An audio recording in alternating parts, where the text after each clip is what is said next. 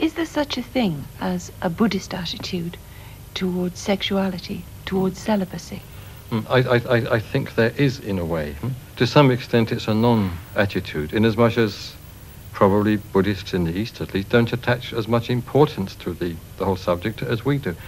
One of the things that struck me on my return to this country after 20 years in the East was that people seemed really preoccupied with sex. They really seemed to have it on, on, on, on their minds, huh?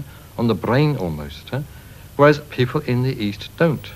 I mean, the, the arrangements which they have there, the traditional arrangements for the satisfaction of the sexual instincts seem quite adequate and they seem quite happy with those arrangements.